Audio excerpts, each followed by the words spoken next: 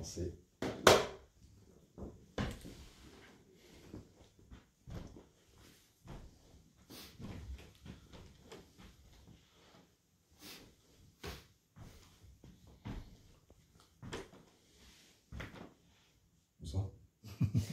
Bonsoir.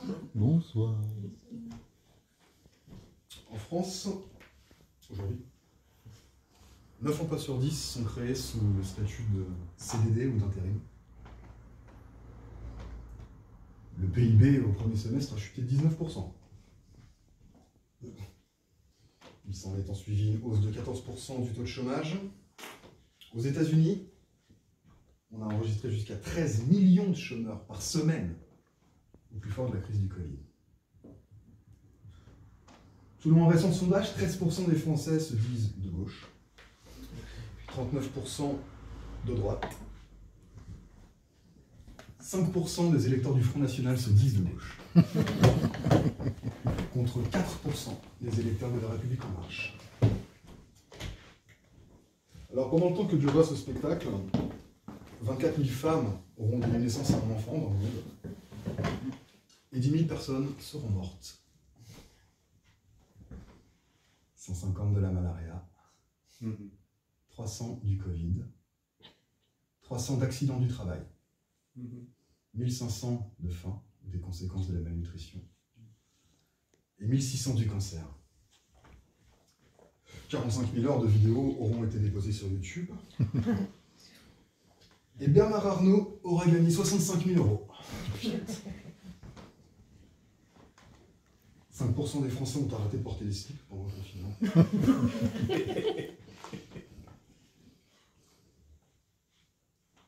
En Europe, une femme sur 15 sera victime de violences sexuelles au cours de sa vie. Une femme sur 5, pardon. Un homme sur 15. Alors concernant ce spectacle, 90% d'entre vous sortiront satisfaits. 8% auront envie de faire pipi mais n'oseront pas y aller. Et 1% aura une quinte de tout. 100% des gens qui ont bu de l'eau euh, sont mortes ou mourront un jour. Une girafe n'a absolument aucune chance de se faire croquer par un tigre dans la salade. Et 100% des girafes se foutent totalement des statistiques sur les girafes. 30%, 30% des ménages brésiliens changeront de lave-vaisselle avant la fin de l'année. Et il y a 10%, 10% de réduction sur la côte de port au Super U de Saint-Georges de Bayard. Alors que faire de ces informations? Ben, Pour un professionnel des statistiques comme moi, la réponse est évidente. On prend une poubelle là, on fait le tri des déchets, et puis on prend tout depuis le début. Voilà. Je m'appelle Johan Charlier et je suis statisticien. Et je suis venu faire ça avec vous ce soir. Trier les déchets hein, des statistiques, trier le bon grain euh, de la statistique euh, mobilisatrice, euh, révélatrice de phénomènes sociaux, de livrer des statistiques démobilisatrices et manipulées par les pouvoirs, tous les pouvoirs, financiers, politiques, médiatiques. Parce que je ne sais pas comment vous le sentez, vous, mais j'ai l'impression d'être dans une société noyée sous les chiffres, les statistiques. Je veux dire, c'est impossible aujourd'hui d'ouvrir un journal, de regarder un JT sans qu'on ait un- le chiffre du jour, euh, pire, le sondage du jour. Un débat, même un, dé- un débat politique. Aujourd'hui, un débat politique à la télé, c'est, pas regardable. Il n'y a, plus une idée là-dedans. C'est, c'est une bataille de chiffres. Voilà. À qui euh, Est-ce que vous connaissez le taux de truc Et vous, le coefficient de machin, monsieur? Donc voilà. En tant que statisticien, je me suis dit, ça et je fais, mais, mais enfin, il faut que ailles voir les gens, il faut que tu préviennes le monde. Et tu leur donnes deux, trois tuyaux euh, pour qu'on arrête de se faire embobiner par tous ces chiffres. Là, il y a une petite voix dans ma tête qui me dit, euh, mais enfin, Johan, mon garçon, toi, tu vas aller voir les gens, prévenir le monde, pour faire quoi? Prêcher la bonne parole? Leur dire la vérité? C'est un peu prétentieux. D'autant que, entre moi et moi, les chiffres, hein, ça n'a pas toujours été ta tasse de thé. Elle avait raison, cette petite voix dans ma tête. Donc aujourd'hui, ce que je vais faire plutôt, c'est que je vais vous raconter une histoire. Voilà, l'histoire d'un petit gamin euh, réfractaire aux, chiffres, aux maths, hmm. qui a appris à les apprivoiser, puis les aimer, puis s'en méfier. Un statisticien, je ne vous ai pas dit encore ce que c'était, mais euh, qu'est-ce que c'est un statisticien? On n'a pas bien euh, la notion de... Il y a des métiers concrets, boulanger, boulangère, maçon, on voit un peu ce que c'est, mais statisticien, c'est un peu plus difficile. Euh, alors, de la même manière qu'il y a des producteurs de, choux, de carottes, de melons, euh, ou de boulons, allez-y, un statisticien, c'est un peu un, producteur de chiffres. Vous voyez? Ça nous permet d'ailleurs de mesurer la productivité des hmm. producteurs de. Ce sont des statisticiens qui fabriquent le taux de chômage ou le taux de croissance du PIB. Ah oui, c'est des choses construite, ça, ça tombe pas du ciel, c'est calculé, c'est construit, fabriqué. Mm. Moi, plutôt que producteur de chiffres, je me définis souvent, quand je me présente comme ça, comme traducteur de chiffres. Euh, mon métier, en fait, c'est de traduire des statistiques, des trucs un peu complexes parfois, en phrases compréhensibles par le commun des mortels. le commun des mortels, dans mon cas, ce sont des collègues, euh, des directeurs, des directrices, des, élus, puisque je travaille dans un conseil régional mon métier, euh, en fait, est d'éclairer euh, la décision publique par des faits objectifs, vérifiés, pour pouvoir construire des politiques publiques, mettre en place des aides, voilà, basées sur des chiffres, des choses sourcées. Ça, c'est ce que je croyais au début. Cette histoire, elle commence par un désenchantement. Comme souvent au travail, c'est vrai. Je me souviens, c'était peu de temps après que j'ai été euh, embauché dans ce conseil régional, à l'époque c'était euh, c'était une présidente, et son truc c'était l'écologie. j'ai pas le droit de Parce que je suis fonctionnaire. Et donc cette présidente, dont dada était l'écologie, vient nous poser une question, à moi et mes collègues. Combien y a-t-il d'emplois verts, d'emplois écologiques, sur mon territoire? Alors on se dit, oulala, c'est pas facile, parce qu'on n'a même pas vraiment de définition de ce que c'est qu'un emploi vert. Alors, ce qu'on fait, on dit, va être malin, on va appeler nos collègues de l'INSEE, l'Institut national de la statistique, pour euh, qu'ils nous aident à définir un petit peu ce que c'est, puis à compter surtout les emplois. Alors bon, on bosse euh, et on tombe sur une définition, voilà, un truc pas trop, euh, mais cadré quand même. Hein. Et donc on se dit, tiens, un emploi écologique, ce serait un, emploi dont les finalités servent à prévenir ou réparer les dommages causés à l'environnement par l'activité humaine. Ça a l'air de rien, on a mis trois mois à le faire quand même. Et donc, fort de cette définition, on se met à compter. Et on trouve, on compte 3600, voilà, 3600 emplois dont la finalité est de réparer ou prévenir les dommages causés à l'environnement par l'activité humaine. Super. Et un jour, je reçois un coup de fil. Je vais vous le faire, tiens. Alors j'étais là, comme ça. C'est ça mon taf, hein. Euh, je suis assis à une chaise et puis je regarde des chiffres dans un tableau Excel. C'est pas palpitant, mais c'est bien. Ça marche. Là, le téléphone sonne. Je regarde le nom. Vous savez, sur les téléphones de bureau, on voit les noms des gens qui s'affichent et pas les numéros. C'est la directrice de cabinet. Alors, au-delà du fait qu'entre collègues, on l'appelle Dame Pipi pour rigoler, directrice de cabinet, c'est quelqu'un hyper important hein, dans une collectivité. C'est genre le numéro 2 ou 3, quoi.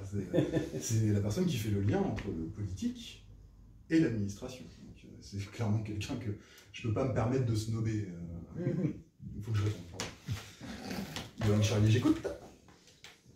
Oui, tout à fait. Les emplois, oui, l'étude sur les emplois verts, oui, très bien. La présidente l'a lu. Ah, alors Elle n'est pas contente. oui. Elle trouve que ça fait pas assez d'emplois. Parenthèse.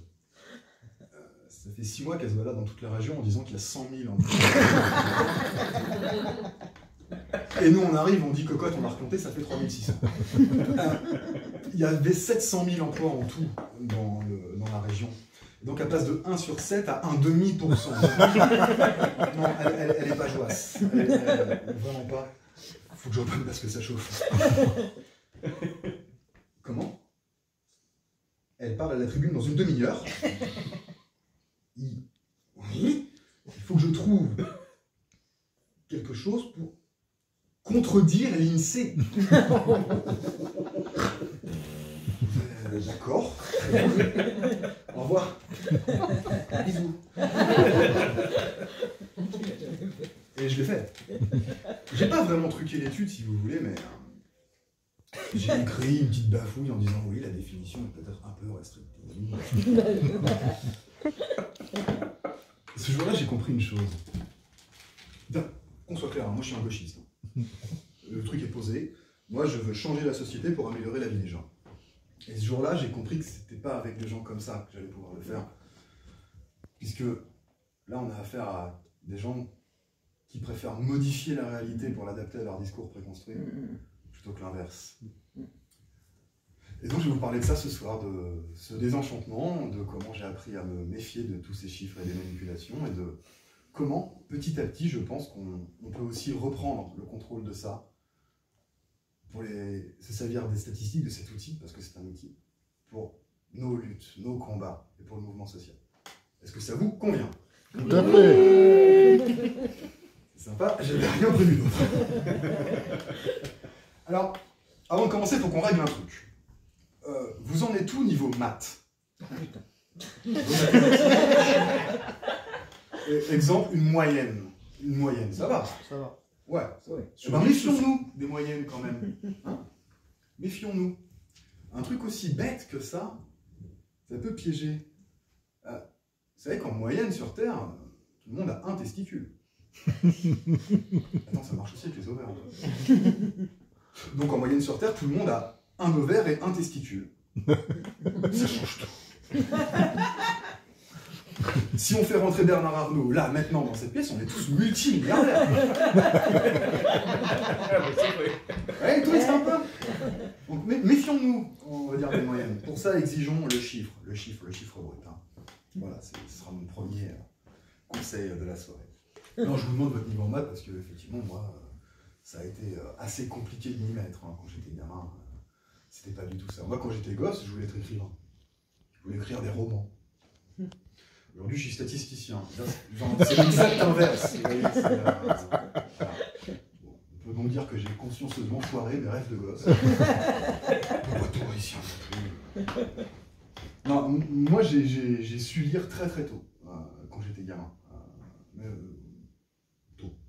Deux ans et demi, trois ans, c'était plié cette histoire. Alors, ça s'est pas fait tout seul, hein, évidemment. je me souviens, quand j'étais gosse, moi, mon père, il était ouvrier. Et euh, quand il rentrait manger le midi à la maison, il rentrait manger le midi, euh, il faisait trois choses. Il mangeait, il lisait son journal, et il faisait une courte sieste. Après, il repartait travailler.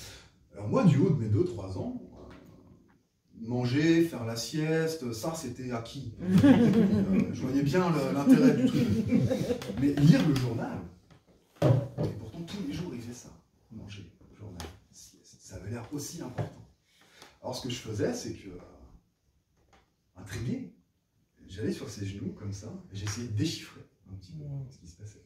Hmm. Donc c'est comme ça qu'en grande partie, pas seulement lui, mais en grande partie, j'ai appris à lire dans la Nouvelle République, euh, le quotidien régional du coin euh, d'où je viens. Et donc, il y a deux ans et demi, trois ans, ouais, c'était plié, je savais, je savais pas mal lire. Par contre, quand il s'est agi d'apprendre à compter, Allez, galère Là, je vous parle d'un temps, euh, j'avais 9-10 ans, j'allais rentrer au collège, quoi. Ah, c'est pas 2-3 ans pour apprendre à lire. Hein. Et moi, j'avais un problème avec les tables de multiplication. Ça a été une tannée, ce truc. Mon père, il avait monté un stratagème. Tu connais? Mon père, il avait monté un stratagème. Vous, euh, vous vous rappelez les cahiers de brouillon qu'on avait quand on était gosse euh, à l'école? Au dos, il y avait des tables, souvent les tables de multiplication. Mon père, ce qu'il avait fait, il avait trouvé un truc. Il a mis du blanco sur les réponses, comme ça, donc ça fait 1 fois 1. Il en avait photocopié une centaine, comme ça. Et puis donc, tous les soirs, je devais remplir les métables. Donc on avait un deal. À chaque bonne réponse que je donnais, il me donnait un centime de francs nouveau. Par contre, à chaque fois que je me trompais, c'est moi qui lui devais un centime de francs nouveau, toujours. Hein, bah, croyez-moi, croyez-moi pas, je dois encore du pognon. non, non, non. Excellent. Gamin réfractaire au maths, euh, vraiment. C'est bien simple. À, chaque fois qu'on me demandait un truc en maths, en cours de maths, et que j'avais pas envie de répondre, etc., je disais 12. C'était ma réponse à tout. 12. Voilà. 9 x 3 12. Oui, ça fait 12, on est d'accord. Euh, le taux de chômage, 12%. 6 x 2 12. Non, ça marche.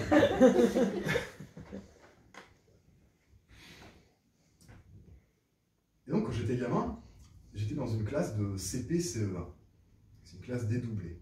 Il y avait à la fois des CP et des CE1. je dois remercier le membre de moyens de l'éducation nationale pour m'avoir permis d'arriver où je suis aujourd'hui. et donc, comme je savais lire, écrire, euh, compter, ça a l'air parce qu'on CP, c'est les additions, c'est après que ça se corse. Euh, ben, quand j'étais gosse, je faisais l'exercice un peu plus vite que les autres enfants.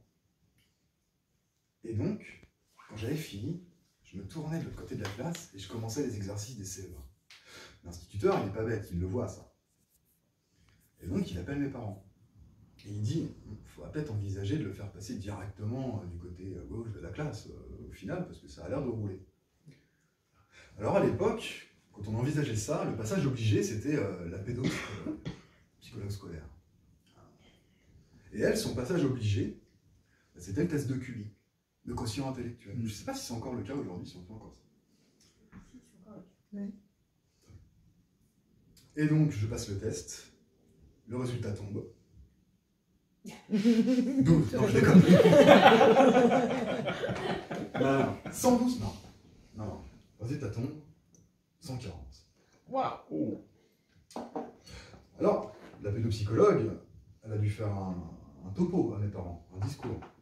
Elle a dû dire oui, alors bon, là, maintenant, avec ce test, il a 140, il a 6 ans, ça ne préjuge pas de l'avenir. Mais voilà ce que ça signifie, ça la classe dans la catégorie des surdoués au potentiel, je, ne sais quoi. Euh, ça nécessite peut-être effectivement un petit suivi un peu spécial, mais ça ne veut pas dire se donner pour toute la vie, etc. Et moi, j'avais 6 ans, c'est pas ça que j'ai entendu à l'époque. Moi, j'ai entendu, c'est. T'es un génie, mec J'y cru. J'y cru. J'y cru très fort, j'y cru très longtemps. Alors, messieurs, dames, pour qu'on parle tous de la même chose, mon décor, pardon, lambeau, voici sous vos yeux la courbe du QI moyenne des enfants français. Je ne sais pas pourquoi je dis ça, ça pourrait être aussi bien la courbe de QI moyenne des adultes américains ou, des euh, plus de 60 ans en Thaïlande. De toute façon, une courbe de QI ressemble toujours à ça en vrai. Hein. Dans un pays donné, à un âge donné, c'est fait comme ça, c'est construit pour. Alors. 145 ans. Peut-être que ceux qui ont des. 145 de QI. 145. Il va expliquer. Peut-être que ceux qui ont des réminiscences, des petits souvenirs comme ça de cours de maths reconnaissent la forme de cette courbe éventuellement. C'est le Mont Blanc Je ne sais pas. C'est une montagne, effectivement. Une montagne dure à gravir. Euh, c'est ce qu'on appelle une courbe en cloche. Ah, j'ai compris. pas bien les gens.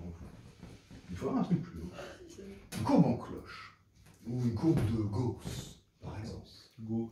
Gauss. Ah, vous souvenez de Gauss On a traumatisé plus loin, euh, les mathématiciens vous diraient c'est une distribution en loi normale. Alors il faut faire très attention aux mots qu'on utilise. Euh, pour les mathématiciens, normal, ça veut dire un truc bien spécifique qui n'est pas la même chose que nous. Il ne faudrait surtout pas en conclure que tout ce qui ne ressemble pas à ça dans la vie est anormal. Alors cette courbe, en fait, qu'est-ce qu'elle décrit? En général, c'est une courbe qui est très utile pour décrire les phénomènes naturels aléatoires, c'est-à-dire qui n'ont pas d'ordre préétabli.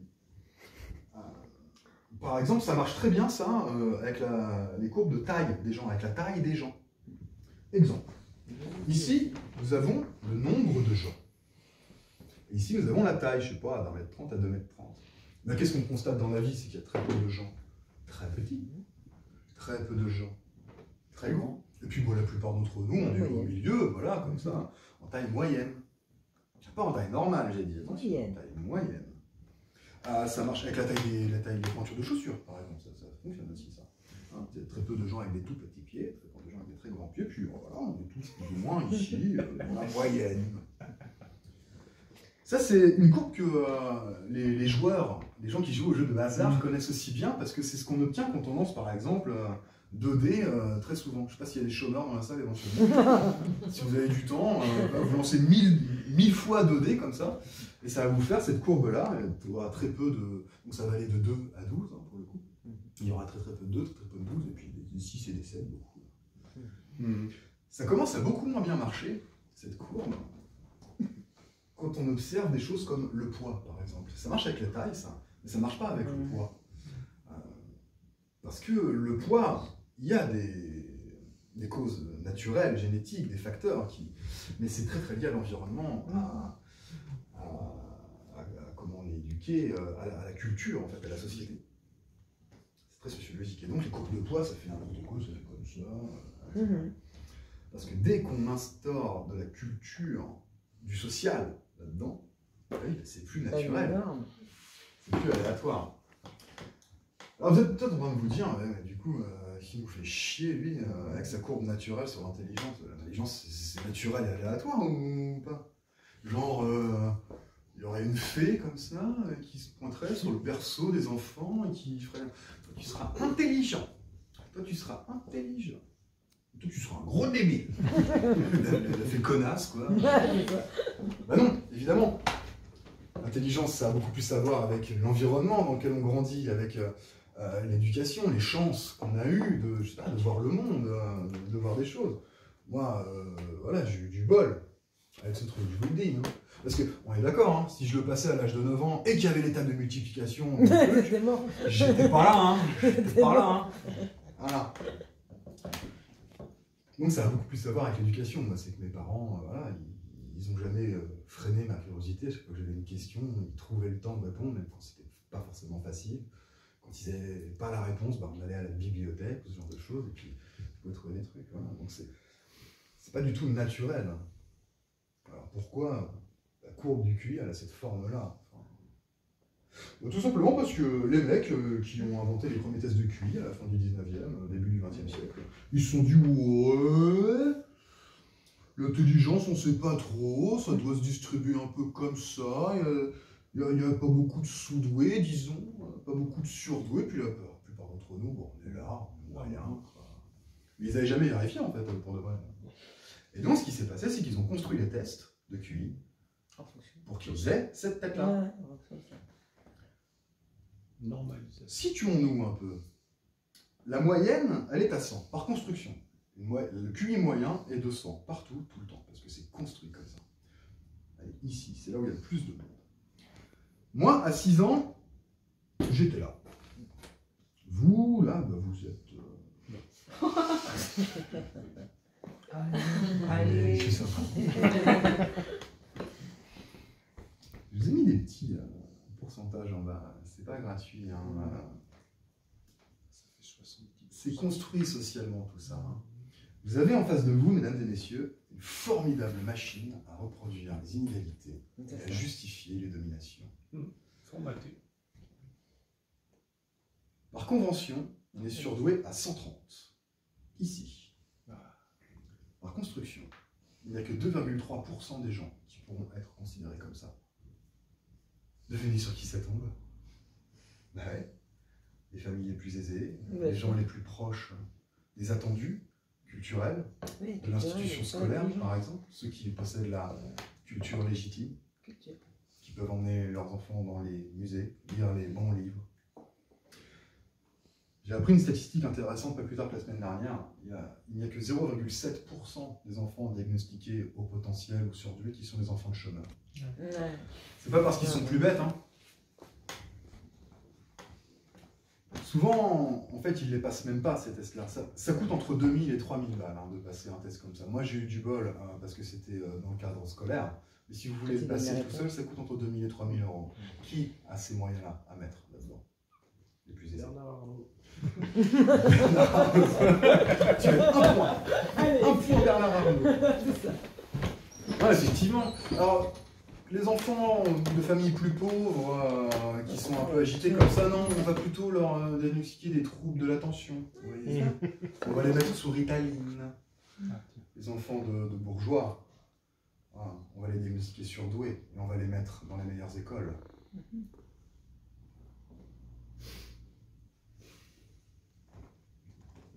Et puis, euh, ça peut poser problème également au niveau émotionnel, ça. Imaginez des parents qui font passer un test à leur enfant, qui espèrent qu'il soit là. Et puis, il n'est pas bête, hein mais il est normal. Imaginez la déception dans les yeux des parents. Le gosse, il le voit, ça. Au niveau de l'estime de soi, ça peut faire des ravages.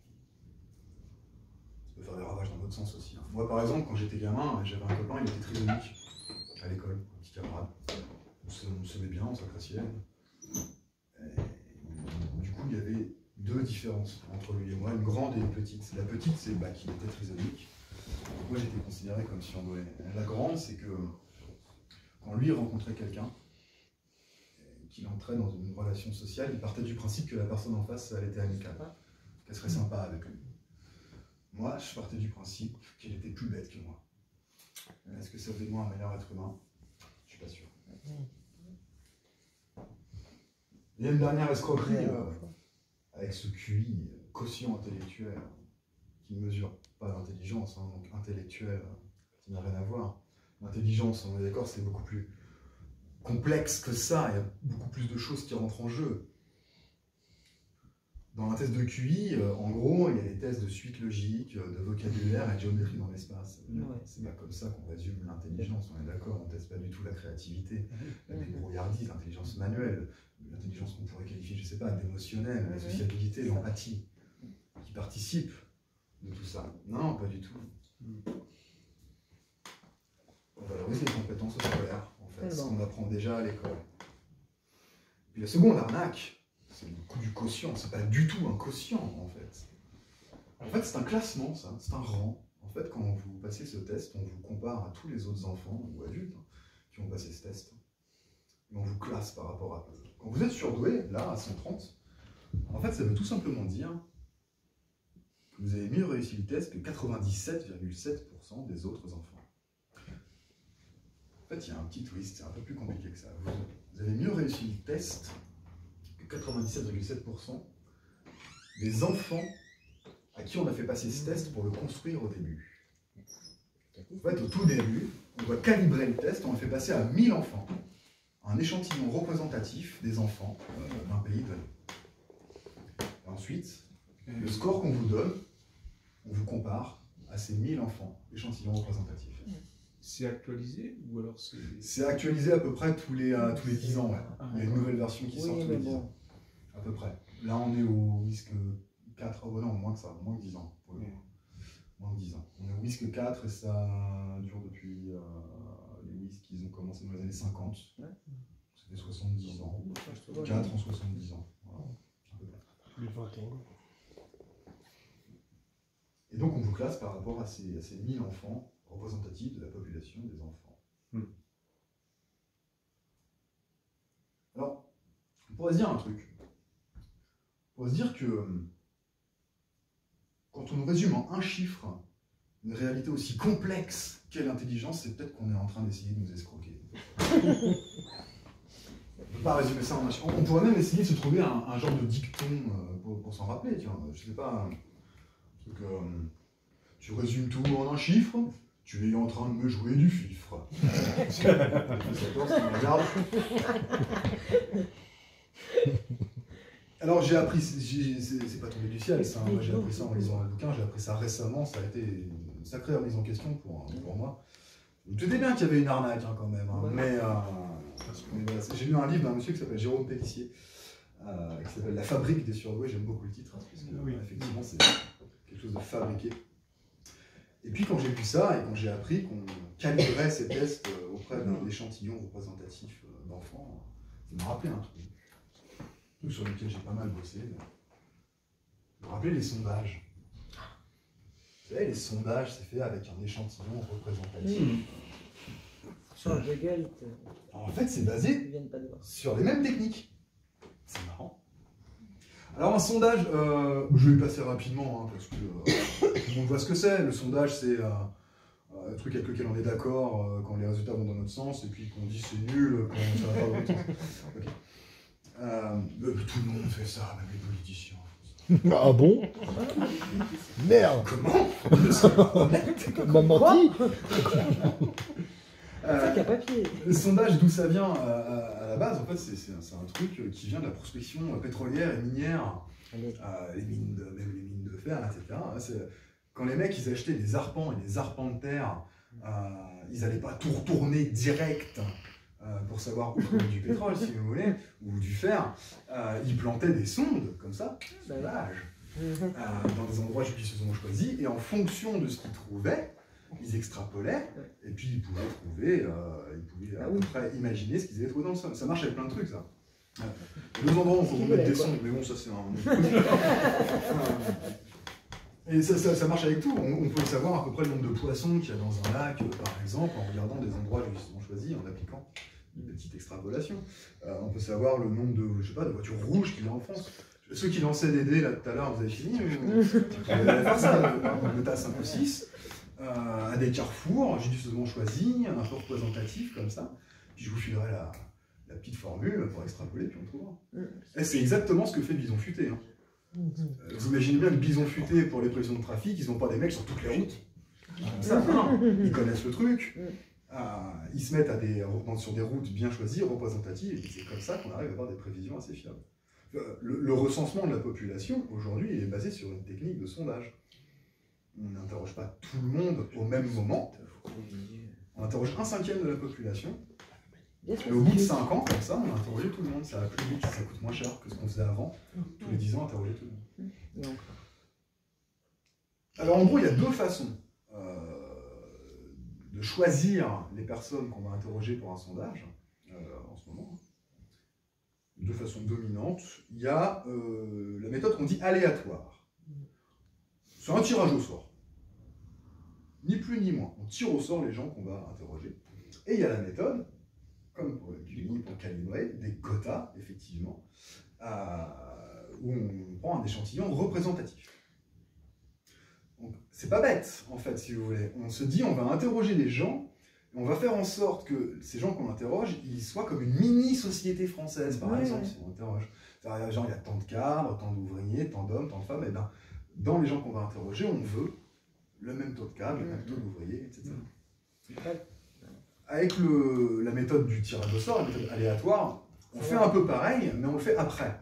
On interroge d'abord les gens, et après, pour donner l'image de la mini-société, on va Ah. pondérer, on va donner des petits poids comme ça. D'accord. Maintenant, d'après vous, question. Quelle méthode est la plus fiable? La méthode aléatoire ou la méthode représentative? Si vous galérez à trouver une réponse, dites-vous par exemple qu'on vit en démocratie représentative. Est-ce que vous trouvez ça fiable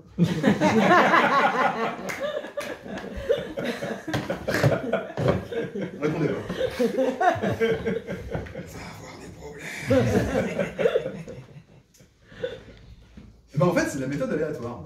Ah oui Ah oui, oui, c'est la méthode aléatoire. Parce qu'il faut qu'on se mette d'accord sur euh, ce qu'on entend par fiabilité euh, en sciences et en statistique. Un peu contre-intuitif en fait. Mais euh, en fait, on est d'autant plus fiable en sciences qu'on sait dans quelle mesure on risque de se tromper. On est d'autant plus fiable qu'on sait dans quelle mesure on risque de se tromper. Et donc pour ça, il y a un outil magnifique, mais qu'on ne voit jamais dans les sondages, qui est la marge d'erreur.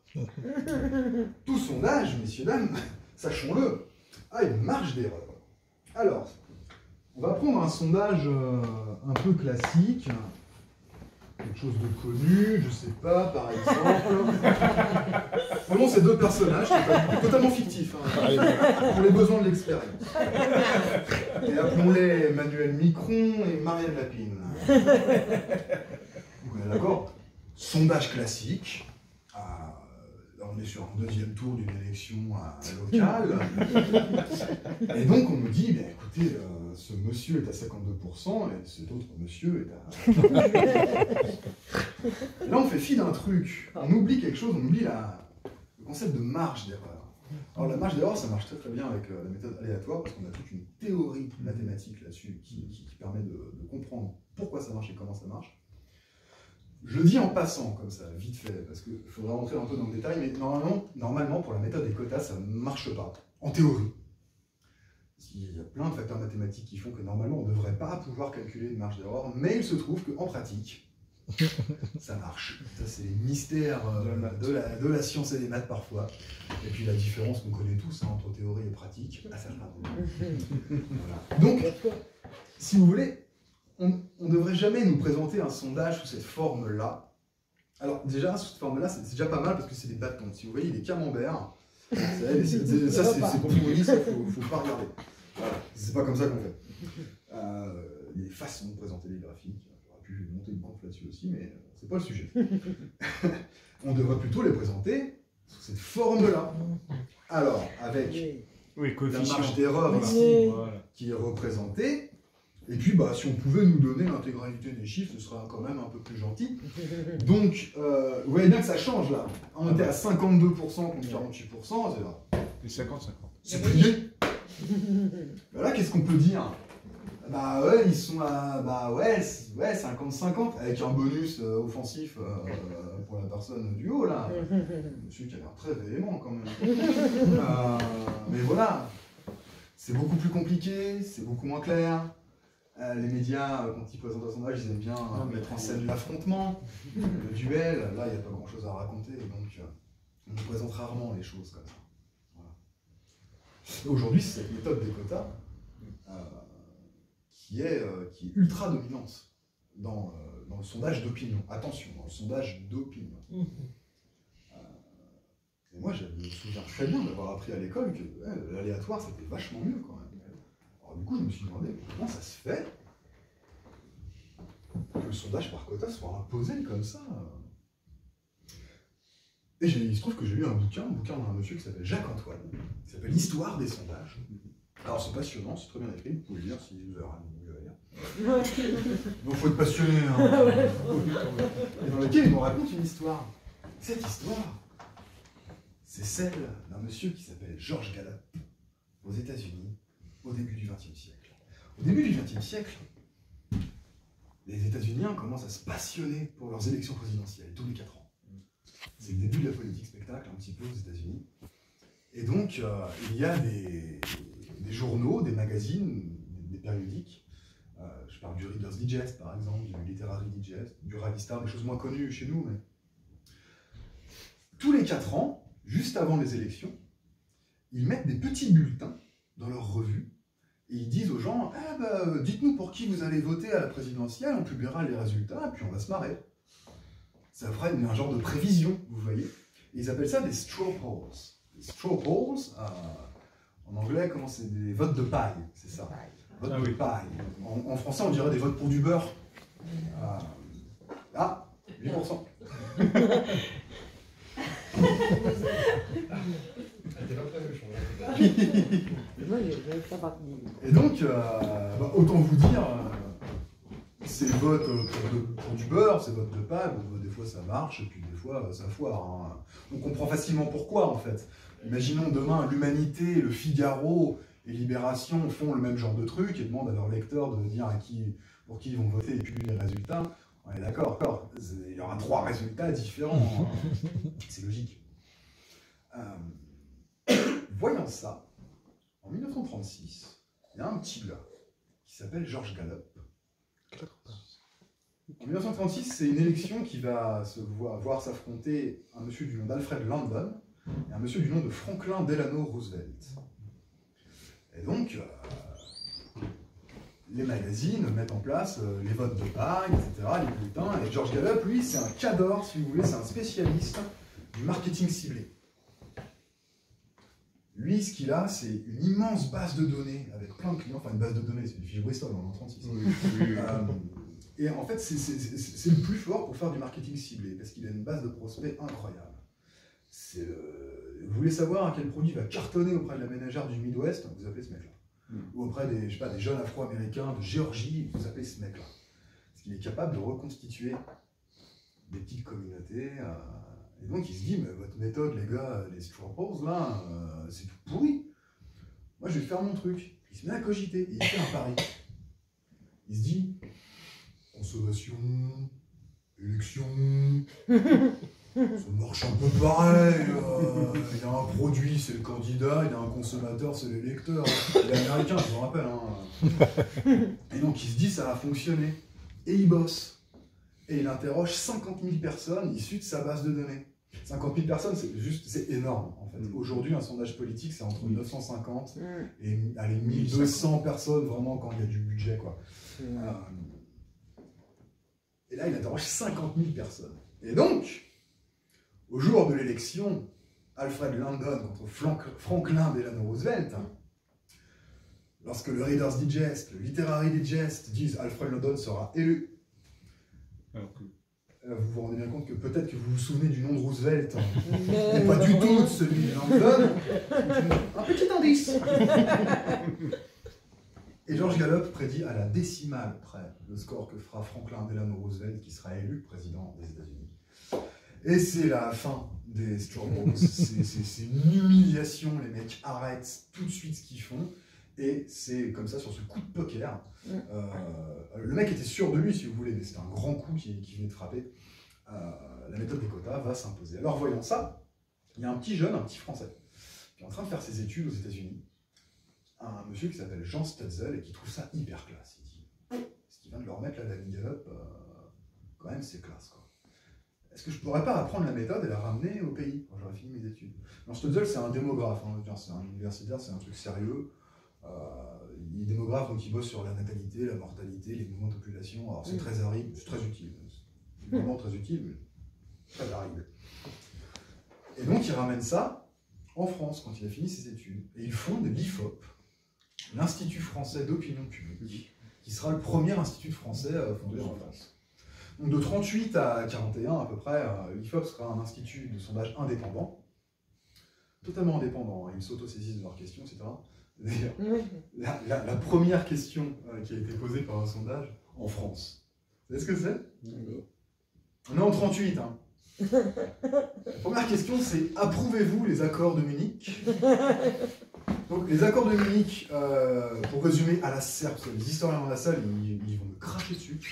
C'est quand euh, tous les pays d'Europe se sont mis d'accord pour laisser Hitler faire Jojo avec la Tchécoslovaquie. Euh, voilà, en, en résumé. Et donc, 58% des Français disent oui, nous approuvons les accords de Munich. Alors, il y a une question subsidiaire à ça. Il y a 70% des gens qui répondent ouais, ok, mais c'est la dernière fois. Après, euh, après, on se la toute première question qui a été posée euh, un sondage. Donc, l'IFOP, pendant la guerre, sera mis euh, en stand-by, disons, parce que le, le régime, de- le régime de Vichy va tout simplement interdire la publication de sondages. Comme ça, c'est plié.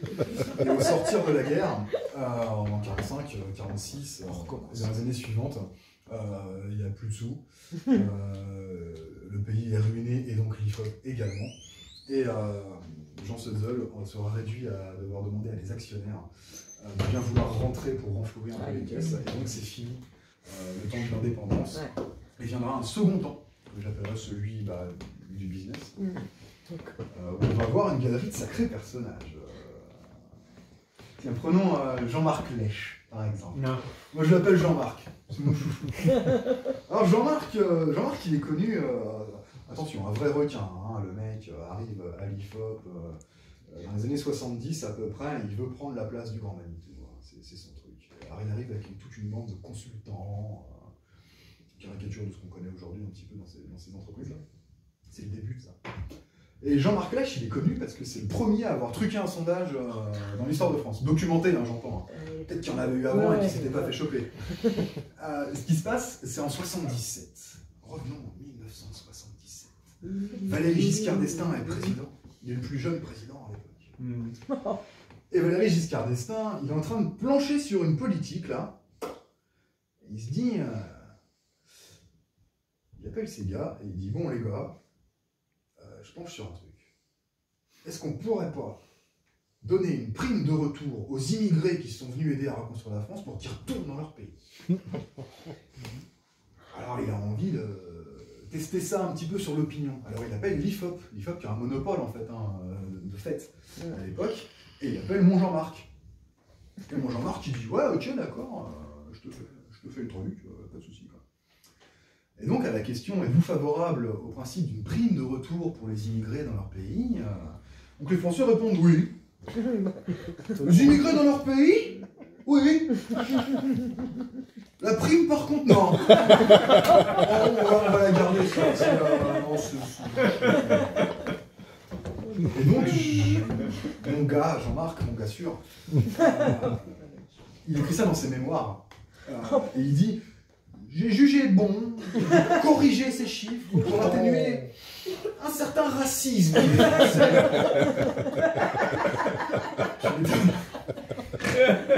Manque de peau, un certain hebdomadaire satirique paraissant le mercredi, enchaîné toujours dans les bons coups, tombe sur les bons chiffres et publie ça en une. Et donc c'est euh, premier trucage documenté euh, d'un sondage dans l'histoire dans l'histoire de France. Ah, euh, mon gars Jean-Marc, euh, il s'arrête pas là. hein. Euh, en 83, tiens, en 83, euh, il est client de, de Laurent Fabius. Laurent Fabius euh, sollicite euh, Jean Mama euh, pour faire un sondage. Je- Laurent Fabius, il fait un débat à la télé face à Jacques Chirac, en 83, Ah oui. je crois. Et euh, donc, il sollicite un sondage pour savoir un petit peu ce que les téléspectateurs ont pensé de lui. Euh, seulement, le, débat va, hyper mal se passer. C'est-à-dire que Fabius va se faire bousiller par Chirac. Chirac finira par le traiter de roquet euh, devant des, des millions, peut-être pas des millions, mais devant beaucoup de téléspectateurs. Et donc, le sondage est sans appel, les gens sont plutôt d'accord avec Jacques Chirac, en fait. Ouais, Fabius, c'est un gros roquet. donc, Jean-Marc annule en catastrophe euh, la publication du sondage pour pas froisser bah, le mec qui l'a payé, quoi. Hein c'est toujours, euh, voilà. Euh, annule le truc en catastrophe, euh, etc. Et puis, bon, bah toutes ces, tous ces trucages, ces négociations, ces petits arrangements avec la réalité euh, vont pousser Jean Stutzel, le fondateur, euh, à la démission. Euh, triste qu'il est de voir son bébé euh, lui échapper et devenir un, un- un monstre. Et c'est à partir de ce moment-là, fin des années 70, début des années 80, que ça va vraiment commencer à partir en sucette cette histoire. Avec l'arrivée des Golden Boys, un peu à la, à la Jean-Marc Lèche, Jean-Marc a été puni. hein. Il a été puni parce que Jean Sevel démissionne et lui, il entendait prendre sa place en tant que grand chef. Seulement, l'actionnaire majoritaire, il voulait placer son fiston à lui. Allez. Donc, il l'a pas eu. Comme quoi, Il a pas a un peu de justice. Il l'a pas léché. Et cet actionnaire majoritaire, je me suis demandé, cet actionnaire majoritaire, en fait, il, il- a repris les parts de son papa, il a revendu à quelqu'un d'autre, et je me suis demandé, c'est vrai, ça, à qui appartiennent les, les instituts de sondage? Je savais pas. Je me dis, bon, je les regarde, les sondages, et puis je lis, et puis ouais, je comme tout le monde, quoi. Je me dis, mais à qui ça appartient? Faut que Jean-Marc, il n'arrive pas à avoir le poste, et que l'actionnaire, il revend ses parts, à qui ça va? Vous savez à qui ça va? L'actionnaire, il a revendu ses parts à Laurence Parisot. Laurence Parisot, euh, on remet un président du MEDEF. Donc, Ouais, ouais, elle a été présidente du MEDEF et du principal institut de sondage français en même temps. Bah tiens C'est pratique pour faire passer les idées du MEDEF. Alors je me dis, bon, euh, allez, euh, c'est peut-être que l'IFOP qui est comme ça, c'est pas ça. Alors bon, je regarde d'autres trucs. Je regarde Ipsos, tiens, Ipsos, allez. Bah, Ipsos, fondé par un mec qui est 118ème fortune de France. Merde, raté. Non, non, non, viens, viens. La Sofres, la Sofres, ça va être bien, la Oh. Sofres. La vous savez par qui c'est détenu? Une société qui s'appelle Fimalac, Fimalac Financière, Marc Ladret de la Charrière. Vous savez qui c'est? C'est un milliardaire et accessoirement, accessoirement, employeur fictif de Pénélope Fillon, Pénélope Fillon, la femme de François Fillon, hein, candidat à la présidentielle qui a pris les mains le pot à confiture. Vous voulez du politique? Densu Consulting, Densu Consulting, ils sont maqués avec France Info beaucoup. Eh ben Densu Consulting, maqués avec France Info, Euh, savez qui? C'est le président en France? Thierry Jadot, Thierry Jadot, le frère de Yannick Jadot, le chef d'Europe Écologie, les putains de verts Ça s'arrête pas, ça s'arrête pas, vous voulez voir Opinionway. Opinionway. Opinionway, c'est les meilleurs, fondés par deux gars. Il y en a un, il était ancien directeur de cabinet de Gérard Longuet. Gérard Longuet, ministre de la Défense sous Sarkozy, et accessoirement, fondateur d'un groupuscule de nazis quand il était à la fac. Y a des nazis, quoi Et le deuxième, le deuxième, Denis Pingot, il s'appelle. Bah tiens, mis en examen pour surfacturation de prestations de consultants. À qui À Mathieu Gallet, président de Radio France. Bah vas-y, mais maque-toi avec les médias. Et plus on regarde, et plus on regarde, et plus c'est pire, et ça s'arrête jamais On couche tous ensemble. Vous voyez? C'est ça l'emprise. Quand les pouvoirs médiatiques, économiques, politiques tiennent les rênes de l'opinion, là on n'est plus sur la statistique mobilisatrice qui va défendre les droits des opprimés. Non, on est sur l'influence, on est sur la manipulation. Les boîtes de sondage, c'est une boîte privée. Elles sont là pour maximiser leur profit et puis accessoirement faire passer dans l'opinion des idées qui permettront de maximiser leur profit. On est dans une diffusion d'idéologie, on n'est pas dans une information du public. L'idéologie, c'est quoi? Bien sûr, c'est l'idéologie capitaliste. Vous savez, l'idéologie qui professe la mort de toutes les idéologies pratiques. Et ça s'arrête pas là. Leur donner ça aux gars. Bon, c'est pas une quenelle, hein. Oui. Je peux je peux que c'est une vanne. Faut pas la sûr. Je qu'elle est pas mauvaise.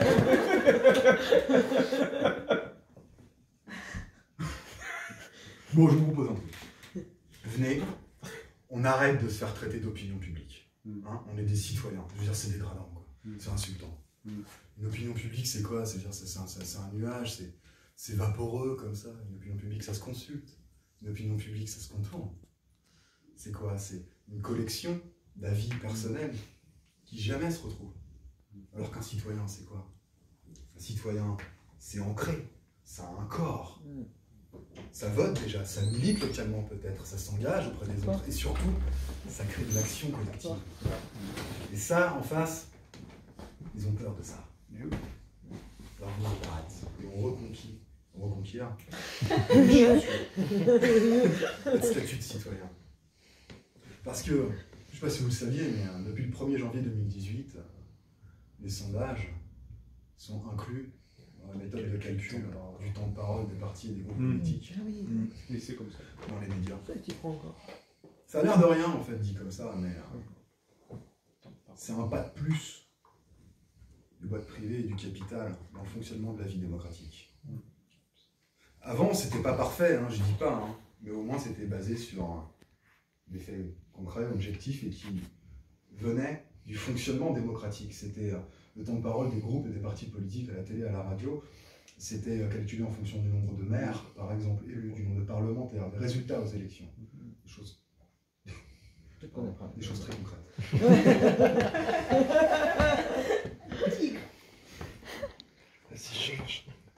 Là, il s'agit de faire entrer les sondages, c'est-à-dire des estimations faites par des boîtes privées. Mais bon, heureusement, on a un super président qui fait qu'on n'a plus du tout à se soucier des partis et des groupes, on n'a plus besoin d'eux. Non, mais non, c'est vrai, on est d'accord. Le président, il transcende les partis, de toute façon. De toute façon, c'est Notre président, c'est quand même le mec qui a instauré la démocratie directe et participative dans ce pays. Non, sérieux, vous vous souvenez pas? Le grand débat? Non Le grand débat Attends, si c'est pas la démocratie directe et participative, ça je ne connais pas. Vous avez participé, vous, au, au grand débat? Vous n'avez pas de réponse interactive. hein. Non. Non. Vous avez pas. Non. Il y a plusieurs façons de, le faire en plus. Euh, Il y a eu des par- réunions, par Internet. euh, des, des fois vous pouviez même croiser Dieu en personne. il Ah, Il y avait quoi? Il y avait les cahiers de doléances euh, dans, dans les mairies. Il y avait, euh, il y avait un questionnaire, euh, Ah, un super questionnaire sur Internet. Alors, euh, Non, il, bah, il- ça, ça crachait tout le temps. Moi, j'ai fait ça. Ça crachait. Ça crachait? Ouais, Ah ouais? J'ai pas répondu, je suis allé juste regarder. Ouais, non, ça crachait. Bizarrement. Parce que j'adore la démocratie, mais j'ai très peu de temps à lui consacrer, donc euh, je ah faire ce petit questionnaire euh, sur Internet. Et euh, franchement, les questions, bah, c'était... euh, euh, non, ils nous ont pris pour des cons, les mecs.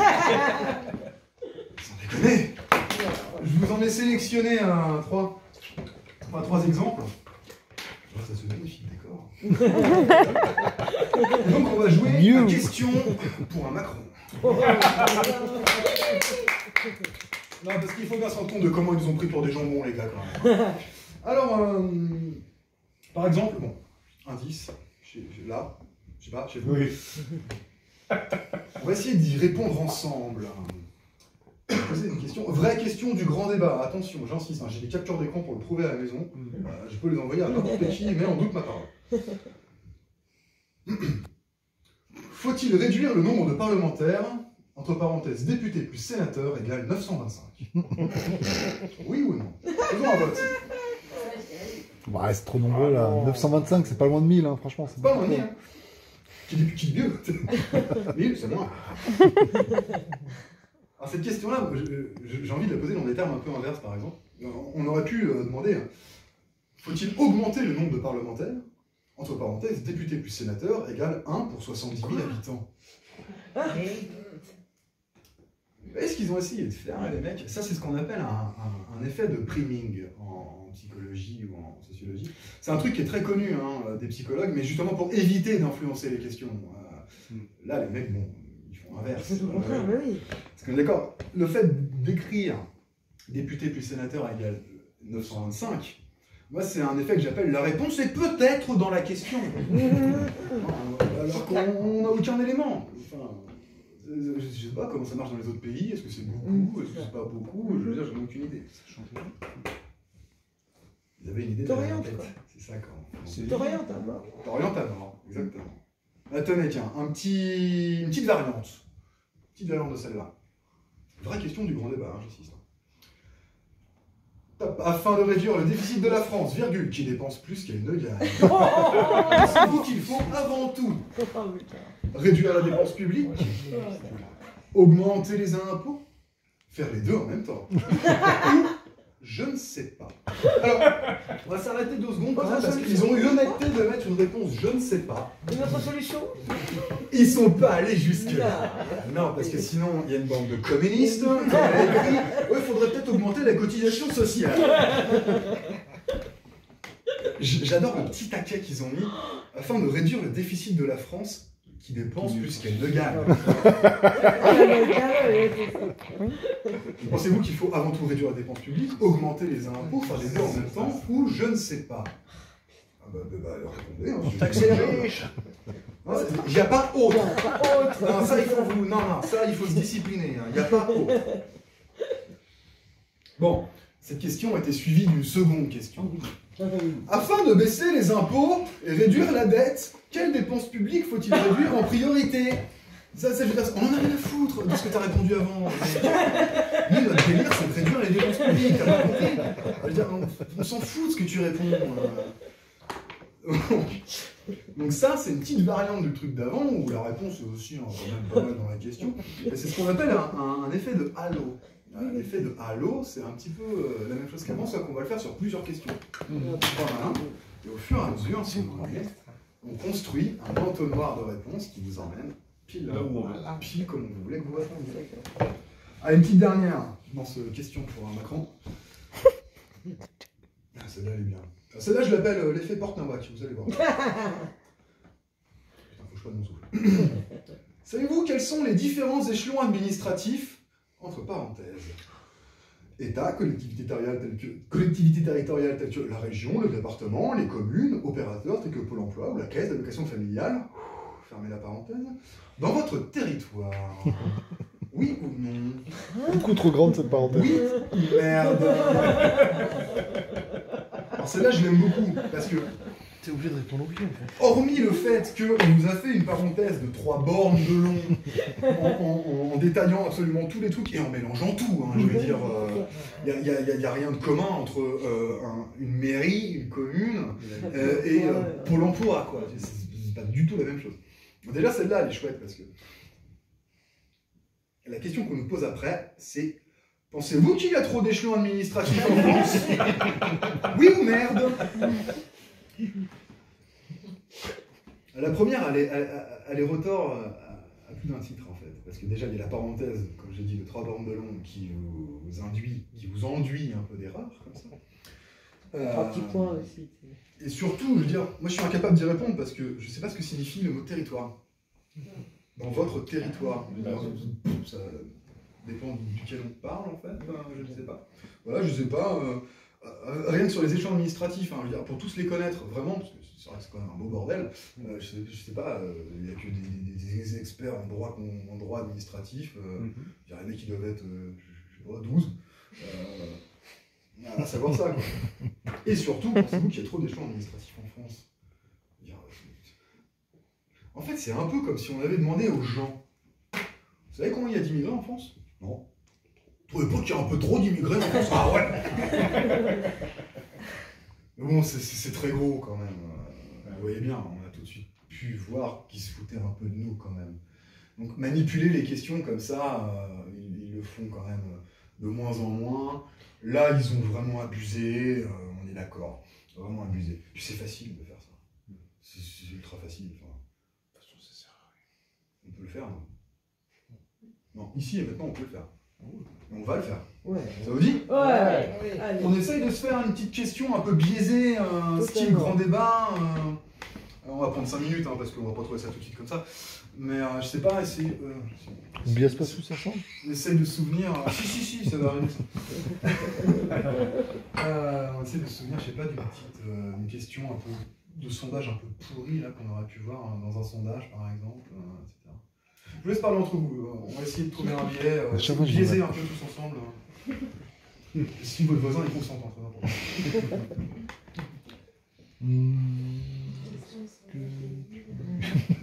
Un truc très orienté, vraiment Ah, abusé. truc orienté, juste, euh, Peut-on sacrifier euh, l'économie euh, pour le bien-être de la planète euh, Un truc comme ça. J'aime bien ça. Peut-on sacrifier Sachant l'économie ou la planète Peut-on sacrifier l'économie sachant Ah qu'il y a ouais, 10 c'est, millions de chômeurs Ouais, c'est bon ça. Ah ouais, ouais, ouais. Attends, on pourrait même faire un truc genre. euh, Ah oui, c'est un truc de les, poli- les- les politiques, euh, Les politiques. les politiques de défense de l'environnement euh, vont un- ont un impact négatif sur l'économie, sachant qu'il a 10 millions de chômeurs, faut-il continuer à faire de l'économie c'est pas mal ça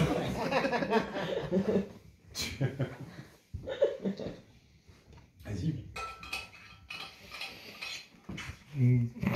Truc sur la peine de mort marche bien en général, mais bon, c'est un peu touchy. Sur la peine de mort.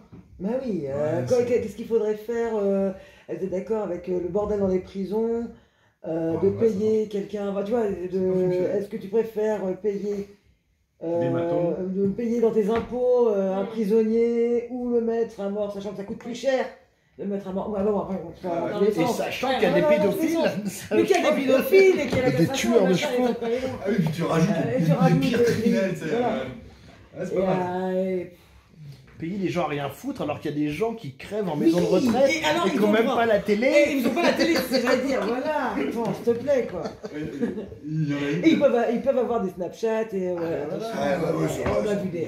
bon, ça veut pas, on a entendu ça. Il y en a une que j'aime que j'aime bien qui a été C'est donnée. vrai que c'est facile. La dernière fois, c'est c'est un vrai, ça c'est une vraie question de sondage qui a été posée euh, dans Le Monde.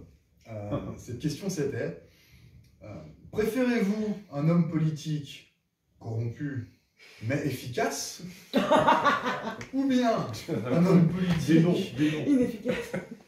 très honnête mais pas très efficace Allez, le, le- le tu préfères quoi. Balkany, il On va revient. mettre une deuxième question en dessous c'est trouvez-vous Emmanuel Macron efficace Non, ça. tu. Voilà, mais donc c'est bon, vous voyez bien, c'est vachement gros maintenant. Il faut être plus subtil que ça. Donc, euh, une autre manière de manipuler euh, les chiffres et les statistiques comme ça, c'est d'aller directement à la source, de remonter dans les coulisses et d'essayer de trafiquer les manières de calculer. Alors, c'est pas facile. On entend un peu mon fil bouger. Ça va, ça va. C'est- pas très facile, mais il y en a qui ont essayé. Nicolas Sarkozy. Vous vous rappelez hein, Un mec petit, un peu hargneux comme ça? Nicolas Sarkozy, alors, quand il s'est fait élire en 2007, hein, euh, il s'est fait élire, bon, ok, sur euh, la peur et l'insécurité, mais il, a- il avait fait une promesse euh, pendant sa campagne. Il avait dit, Attends. il avait dit, je réduirai la pauvreté d'un tiers en 5 ans. Ah oui. Une fois qu'il a été élu, il a fallu qu'il s'y colle, le petit coco. Alors, le taux de pauvreté en France, c'est calculé de manière un peu spéciale, un, peu... euh, il y a plein d'autres pays qui le font aussi, mais c'est Bah, faut comprendre un peu ce truc. C'est- Non, c'est pas une méthode de sondage, mais euh, bien joué. Euh, on appelle ça la pauvreté relative. En fait, euh, en France, on considère qu'on est pauvre relativement aux gens qui nous entourent, à la société française. Et ça a à voir avec la notion d'exclusion, c'est-à-dire qu'on est Mm. exclu de euh, certaines choses, des biens, des services auxquels les autres ont majoritairement accès. C'est ça qu'on appelle la pauvreté, en plus, bien sûr, de, de manquer d'argent. Euh, c'est pas la même chose dans certaines parties du monde.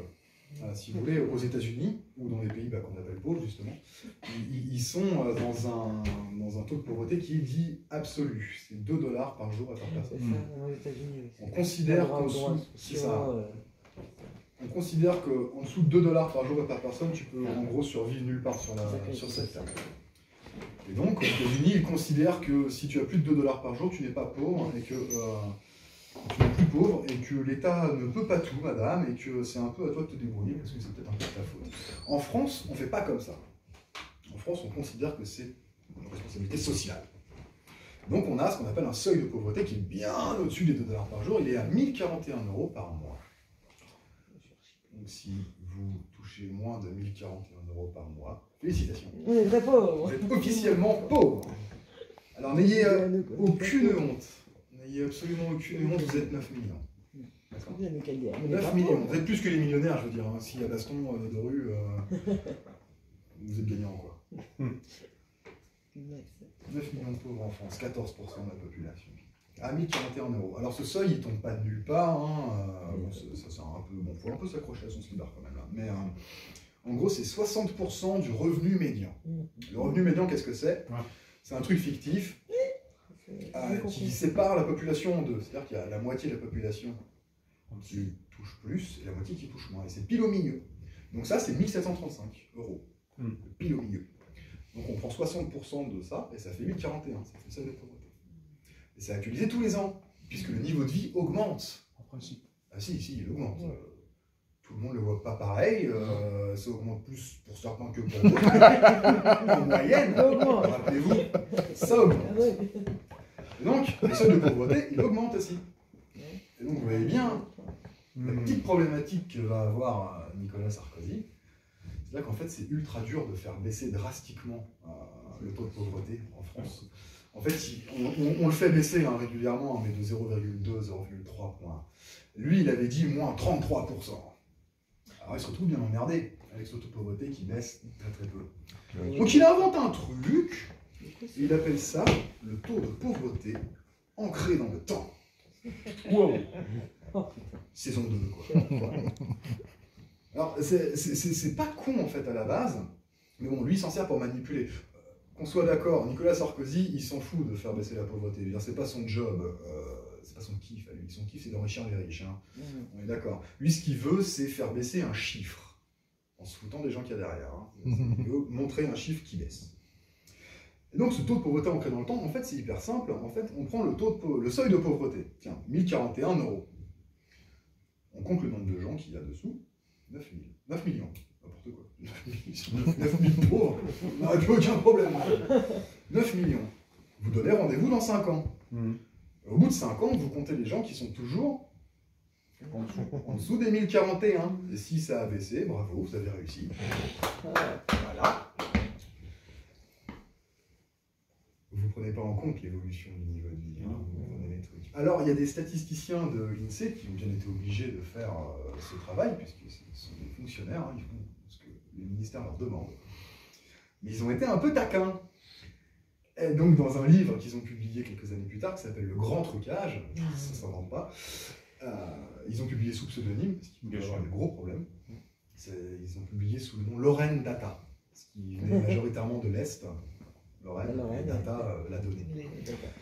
Et donc, ils se sont amusés à calculer ce taux de pauvreté, la baisse du taux de pauvreté ancré dans le temps pour le quinquennat d'avant Sarkozy, le dernier quinquennat de Jacques Chirac.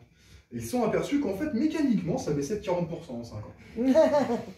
Et que du coup, Sarkozy, il avait même été un peu petit bras, Voilà, petit joueur. il allait tranquille Il quoi. dit, Ah ouais, je peux vous faire baisser 50%, tu augmentes un peu le RSA, et puis c'est bon, c'est fait, tu vois, si tu prends cet indicateur-là. Bon, une fois qu'il est parti, on est revenu dans les standards internationaux, on a été la risée des statisticiens dans le monde hein, quand on a fait ça. hein. Le président qui demandait. De toute façon, Sarkozy était vachement fâché avec les statistiques. hein. Euh, lui, c'était un truc. euh, C'est pas son seul coup d'éclat. Dans le grand trucage, il y a plein d'exemples comme ça. Euh, il a même voulu supprimer l'INSEE, ce mec. Hein. Enfin, supprimer. Euh, transformer en agence privée. euh, parce qu'aujourd'hui, c'est un, Aujourd'hui, c'est un, c'est un service du ministère de l'économie. Et donc, ils voulaient faire ça en, en, en- en boîte privée. Et puis, les déménager à Metz. Loin, quoi. Dans l'Est, quoi. Pas à Paris. Voilà. Il n'a pas réussi. hein. Euh, Il n'a pas réussi. Macron, par contre, lui, c'est un peu mieux pris. Alors, il ne s'est pas attaqué à l'INSEE.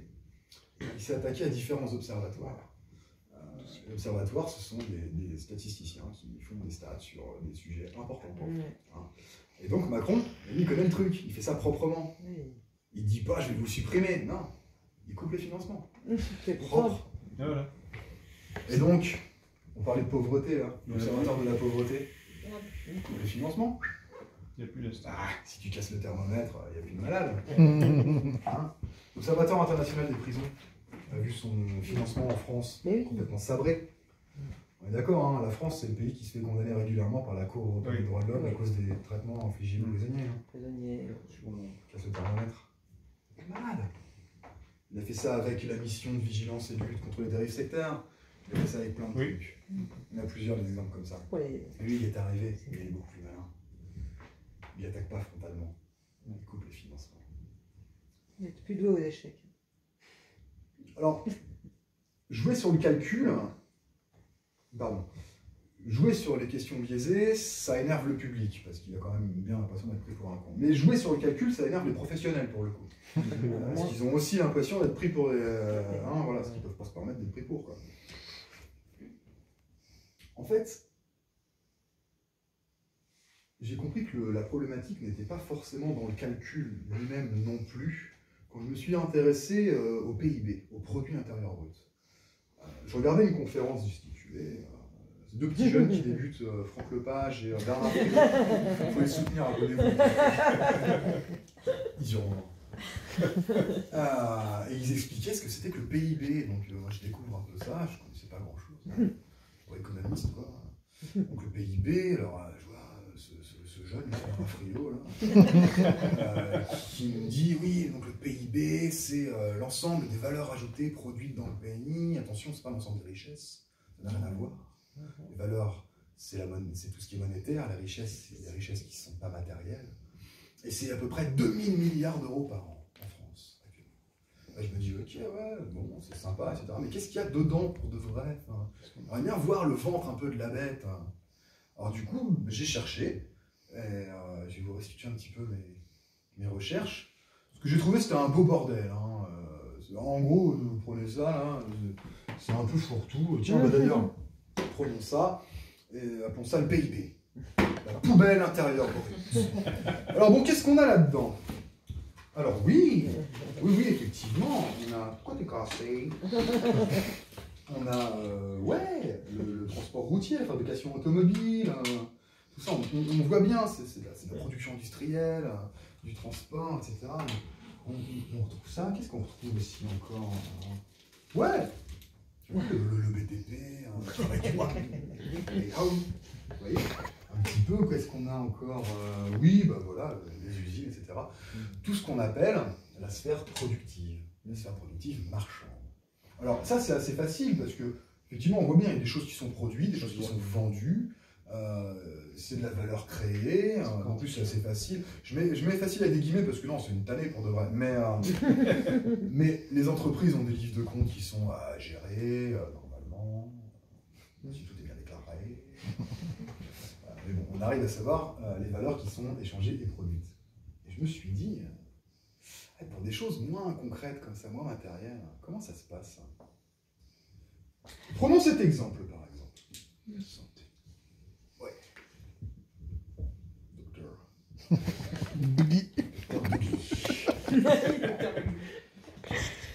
Pour les services comme la santé, par exemple, il va se passer un truc, c'est qu'on a du privé, donc du marchand, et du public, donc du non-marchand. Je passe sur le fait que le non-marchand ne devrait rien avoir à foutre dans un truc qui évalue les valeurs monétaires produites, mais bon, il y a une estimation. Dans le privé, ce qui va rentrer dans le PIB, ça va être la facturation aux patients, par exemple. Dans le public, c'est un peu différent parce qu'il n'y a pas vraiment de facturation aux patients. Donc on va prendre en compte le salaire versé aux médecins, ou à l'infirmière, aux professionnels, plus, on va dire, tous les coûts de production. Euh, s'il y a eu des, produits utilisés, quelle était leur valeur, s'il y a eu des, euh, je sais pas, un labo qui a été mobilisé. Ça marche pour l'école, hein, c'est pareil, hein, éducation privée, éducation publique. Euh, éducation privée, ça va être ce qu'on facture aux parents. Et L'éducation publique, ça va être les salaires, et puis je sais pas, le coût de l'électricité, de la flotte. Et c'est ça qu'on va faire entrer dans le. Voilà. Alors qu'est-ce qu'on a d'autre Qu'est-ce que c'est que ça? Mais Ah bah, la Et putain la coque. Oui, c'est officiellement. la drogue et la prostitution Pardon. Sérieusement Eh oui. Mais oui. Eh oui. Ah oui.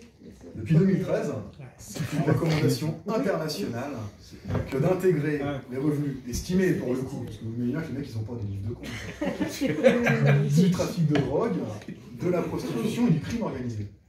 Alors, Qui est le premier l'Italie a rapidement pris le pli. Et dès 2014, leur PIB a fait un bond de 2, pour, de deux points, de deux points. Euh, parce qu'ils ont intégré le revenu de la prostitution, du trafic de drogue et euh, du crime organisé, enfin de la mafia, quoi. Voilà. Euh, alors en France, euh, euh, on a dit, euh, bon, la drogue, oui, la prostitution, non. Désolé, madame.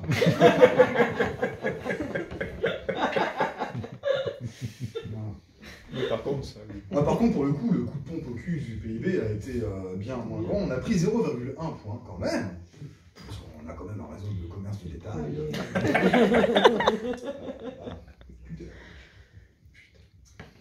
Euh, Qu'est-ce qu'il y a d'autre? Il y a plein d'autres choses. On sait qu'il y a une estimation du travail au noir, par exemple, euh, dans le PIB. Il y, a, euh, tu sais, il y a des gens qui font du jardin, du potager, j'imagine. Ah, vous savez qu'il y a une partie de la production potagère domestique qui est, qui est dans le PIB. Ouais.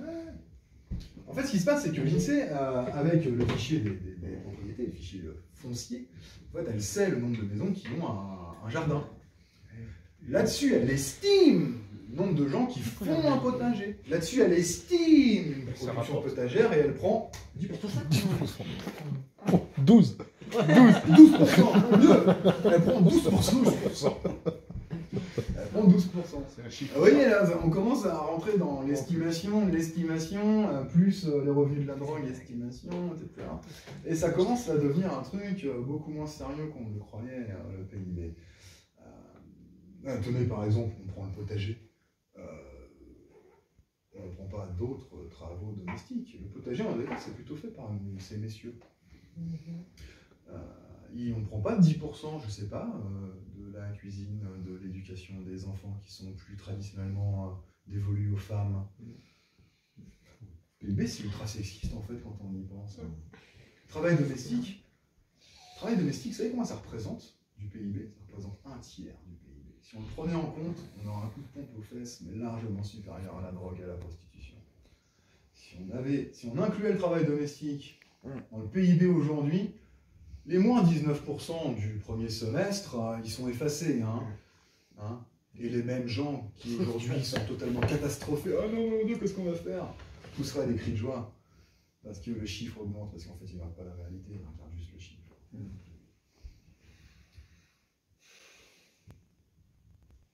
Donc en regardant ça, je me suis dit, tiens, c'est marrant, c'est pas vraiment le calcul qui est en cause, c'est ce qu'on fait rentrer dedans et ce qui en sort. C'est ça qui est vraiment important. Il faut voir tout ça comme. Il faut voir ça comme, comme un genre de, de- de boîte noire, si vous voulez. Ça, c'est le calcul. Et comme c'est noir, on ne sait pas trop ce qu'il y a à l'intérieur. On fait rentrer des chiffres, comme ça, des choses, des camions, de la drogue, des poireaux. Et il en sort un chiffre, 2000 milliards par exemple. La problématique, elle n'est pas tellement là, parce qu'un calcul, au final, c'est un calcul. Euh, je veux dire, tenez, vous avez déjà essayé de diviser par zéro. Alors, ne le faites pas. Ça crée des trous noirs. Comme faire Google dans Google, ça ne pas le faire, ça casse Internet. Mais une division par zéro, on est d'accord, c'est pas possible. Euh, seulement vous, vous pouvez la faire. La machine va appliquer le calcul. Donc c'est ce qui fait, c'est ce qu'on fait rentrer à l'intérieur qui est vraiment important. Et euh, c'est d'autant plus important que c'est là-dessus qu'on a un vrai contrôle, qu'on peut avoir un contrôle politique, un contrôle démocratique. On a choisi de faire rentrer dans le PIB, euh, par exemple, euh, à la fois l'éducation des enfants et la fabrication de missiles.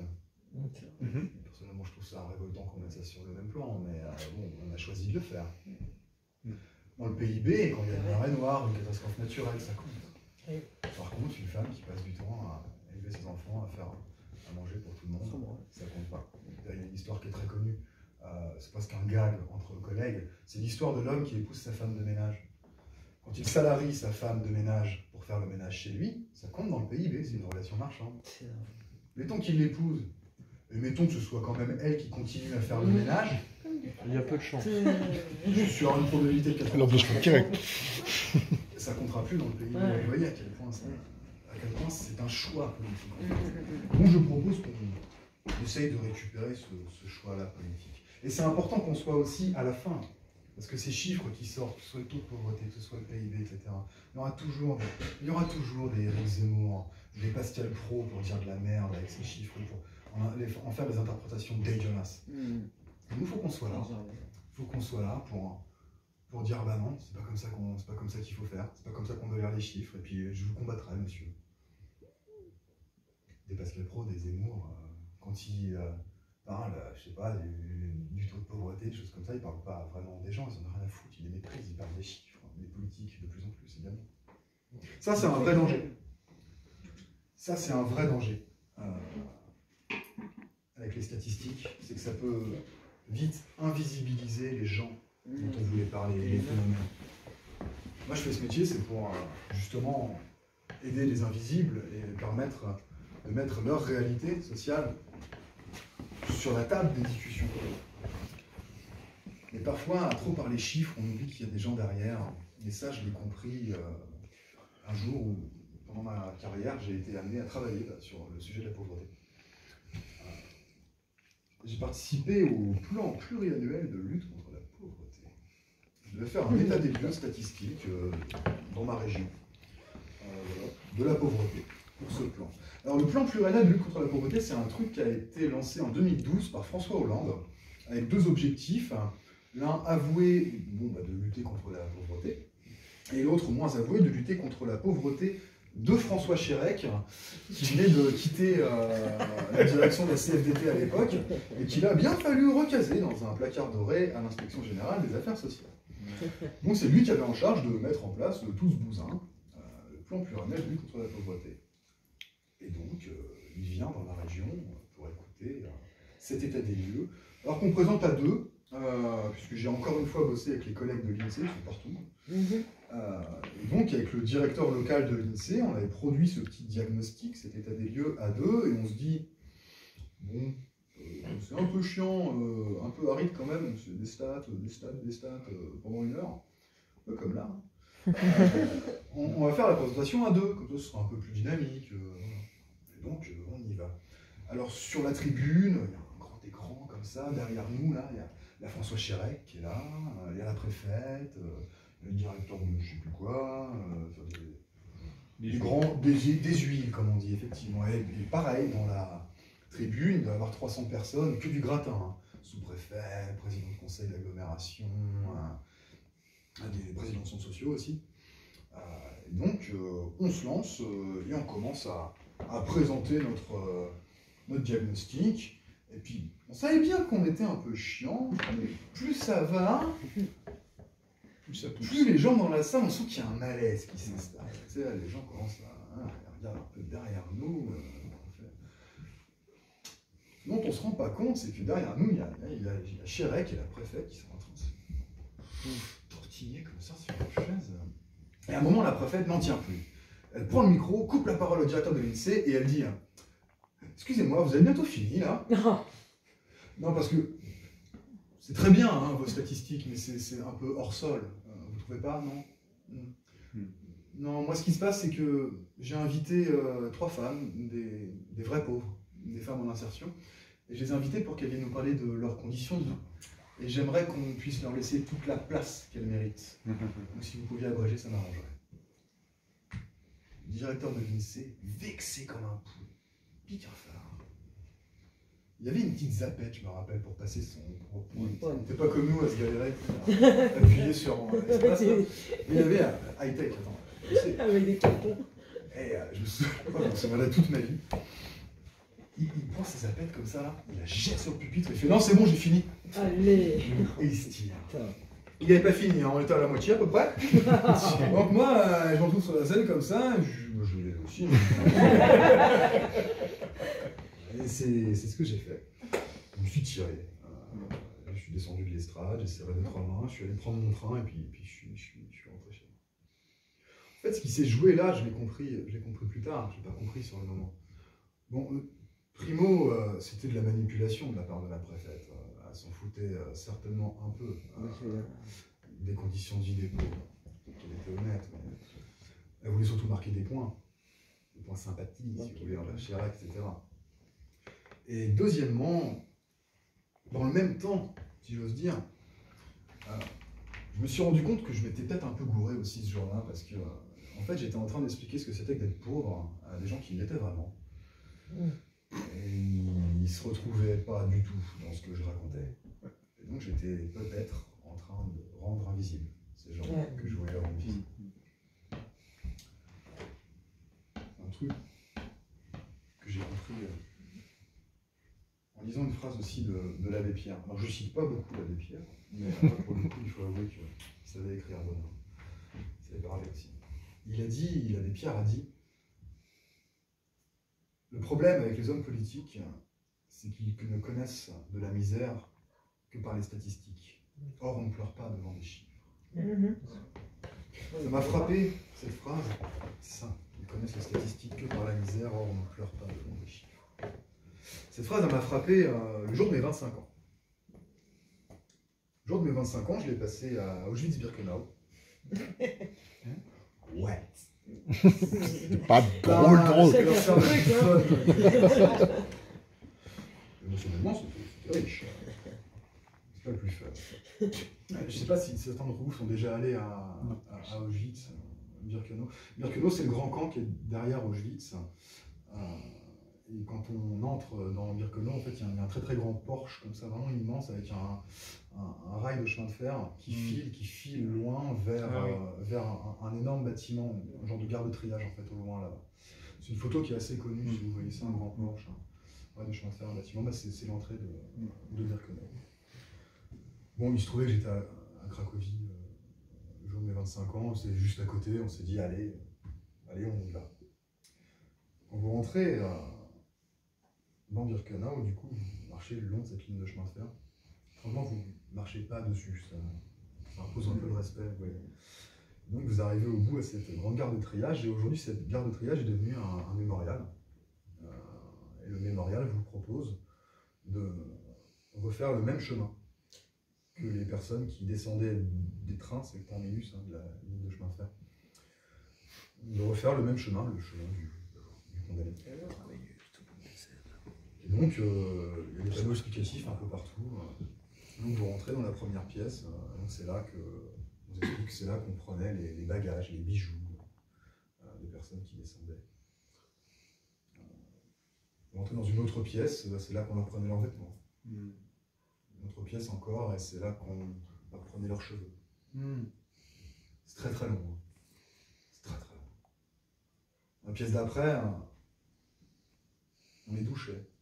Une vraie douche, c'est la seule qu'ils avaient certainement. Dans la pièce d'après, c'est là qu'on leur donnait hein, leur tatouage, et ainsi de suite. Et la dernière pièce dans laquelle vous entrez, c'est une pièce qui est immense comme ça. Et euh, ouais, j'ai pas d'autres mots. En fait, c'est une salle de stockage. Hmm. En fait, on les stockait là euh, jusqu'à temps qu'il y en ait assez pour que ça déclenche euh, la venue d'un d'un garde du camp pour les emmener ensuite vers, vers les baraques. Ce qui s'est passé, c'est que quand je suis entré dans cette pièce, j'ai eu les jambes coupées, mais vraiment coupées. Dans cette pièce, ce que le mémorial a fait, c'est qu'ils ont mis des portraits, des photos de famille partout. Il y en a des milliers. Si vous voulez, j'avais bien lu ce chiffre 6 millions de morts assassinés dans un livre d'histoire. Il y a un chiffre dans un livre d'histoire, j'ai pas pleuré. Là, face de ce mur avec les milliers de portraits, quelques milliers, hein, pas 6 millions, hein, juste. Là, vous prenez conscience que c'est des gens et là. Là, je vous jure que j'ai pleuré. Donc aujourd'hui, je pense que c'est l'abbé Pierre qui avait raison.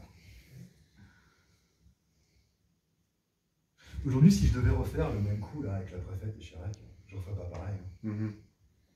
C'est sûr. Déjà, je resterais euh, Ouais. les écouter, ces femmes. Hein. Je ne me pointerais pas comme ça. Ouais, alors je suis Yann Charlier, je suis statisticien, je vais apprendre des trucs sur la vie.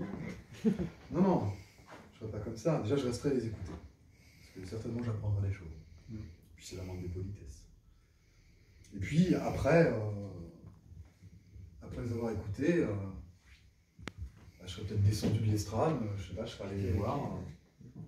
Je me serais, serais peut-être assis avec elles. D'égal à égal, comme ça. Il leur a dit euh, bonjour, je m'appelle Ivan Charlier, là je vous ai bien écouté. Et euh, je suis statisticien. Ça veut juste dire que je connais deux, trois techniques qui pourraient aider euh, à vous faire entendre, qui, qui, qui pourraient vous être utiles. Voilà. Comment est-ce que je peux me rendre utile? Putain, mais c'est ça. C'est ça ma mission. C'est ça qu'il faut que je fasse. Je me rende utile aux invisibles, aux exclus, aux dominés. Ça, c'est utile. Faut que j'arrête de servir la soupe aux dominants qui changeront pas le monde. C'est ça ma mission. Mais ouais. Bon, ça et trouver des statistiques pour faire chier le MEDEF.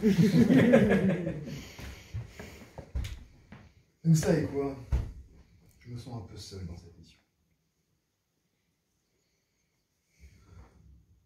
Bon, je vous ai brossé ce soir un portrait un peu à charge contre les statistiques.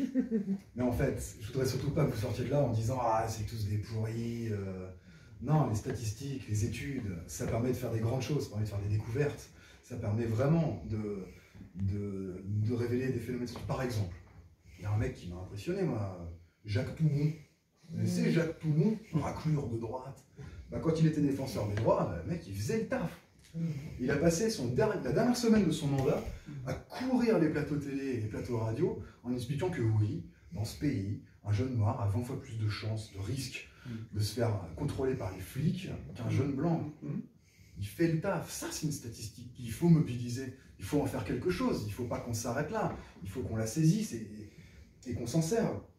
Regardez, euh, il y a des, statisti- des statisticiens qui bossent sur les inégalités salariales entre les hommes et les femmes et qui, et qui luttent et qui montrent les ressorts de ça. Il, il faut qu'on s'en serve. Il faut, que ce soit utile. Il y a des gars qui ont les gilets jaunes. Ils s'y sont pas trompés. Les gilets jaunes, pendant leur manifestation et tous les samedis sur les ronds-points, ils ont inventé un truc génial. Ça s'appelle le nombre jaune. En fait, c'est leur propre organe de Mhm. recensement. Ils ont bien compris qu'ils pouvaient pas compter sur les flics pour les dénombrer. Ni même sur les syndicats ouais. d'ailleurs. Donc ils ont créé mais- leur INSEE à eux. Ouais. Ça, c'est une belle réappropriation de cet outil. Alors voilà, j'aimerais, euh, j'aimerais aujourd'hui, après avoir trouvé ma mission devant vous grâce à vous, euh, j'aimerais vous en donner une aussi, une mission. Et vous donner des petits chiffres, voilà, comme ça, qui seront Autant de grenades dégoupillées envoyées à la tronche du système. Bon, j'ai pas trouvé de grenades en vente. Alors, je lance l'opération Ballon de baudruche. Il y a peut-être euh, des féministes dans la salle, ou des gens juste conscients.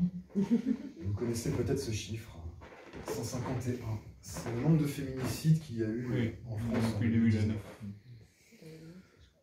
Ça veut dire qu'il y a 151 femmes qui ont été tuées par leur conjoint ou leur ex-conjoint. On peut renverser le truc, hein. Il y a aussi, ça veut aussi dire qu'il y a 151 mecs qui ont tué leur conjoint ou leur ex-conjoint. Bah ça, c'est pas une statistique qui est produite par le ministère de l'Intérieur, ni même par le secrétariat d'État, euh, Marine Schiappa, tout ça. Ça, c'est un recensement qui est produit par les associations féministes, par des militantes de terrain. Et elles font pas que dénombrer, elles connaissent le coup de l'abbé Pierre. Mm. Donc, elles documentent la vie de ces personnes, elles leur redonnent un visage, un nom, Mm. pour que ce soit plus que des chiffres. Alors, ce que j'ai envie de faire, là, c'est vous passer ce relais, comme ça. Attention. Et si je peux me permettre un petit tuyau, tiens, on est entre nous. alors, la prochaine fois que vous serez empêtré dans un débat ou euh, je sais pas, un repas de famille avec un, un- appelons-le Jean-Marc, euh, qui vous dira euh, Oui, bah, les femmes battues, euh, les femmes battues, il y a aussi les hommes battus, hein, on n'en parle jamais. Vous direz Oui, Jean-Marc, tu as raison, ça existe. Effectivement, 6% des victimes de meurtres conjugaux euh, sont des hommes. Voilà. Et là, euh, au moment où il se demande euh, ce qui se passe, vous lui dites, ouais, seulement plus de 9 fois sur 10, c'est la légitime défense. Donc arrête de. Une fois qu'on aura mis ça dans la tête de tous les Jean-Marc du monde, peut-être qu'on pourra avancer collectivement. Je nous souhaite en tout cas que ça nous serve à ça et que ce soit pas qu'un juste un recensement macabre. Alors, il y a peut-être des gens qui connaissent ce chiffre aussi, euh, des gilets jaunes, ou des gens inquiets des violences policières. Ça, Ah, c'est- David Dufresne, Ah, qui signale tous les cas de violence policière. Il a commencé à la première manifestation des Gilets jaunes et on en est à 561, chiffre d'hier.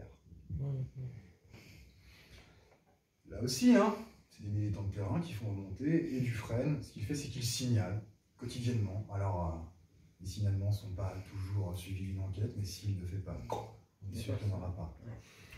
C'est pas le ministère de l'Intérieur qui fait ça. hein. Encore une fois, c'est les gens de terrain. hein.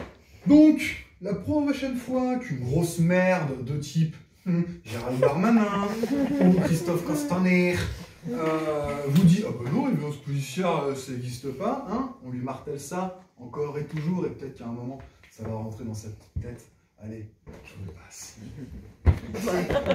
Beaucoup de choses, quand même. Allez, éventuellement, euh, un dernier, euh, parce que le gouvernement a l'air quand même très très chaud pour remettre ça avec la réforme des retraites à la rentrée. Il va falloir qu'on soit là.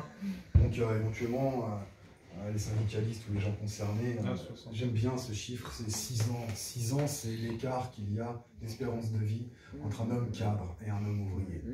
Un homme cadre, en moyenne, meurt 6 ans plus tard qu'un homme ouvrier. D'accord donc, la prochaine fois qu'une grosse merde de type gouvernemental vous dit, ou m'énerve, tiens, vous dit, bah non, c'est quand même vachement plus juste et équitable que tout le monde parte à la retraite au même âge, on lui martèle ça, peut-être qu'un jour ça va rentrer dans sa caboche, je vous passe le flambeau. Bon, j'en ai pas pour tout le monde, ces petites euh, grenades ou ballons, enfin si, j'en ai Si. encore.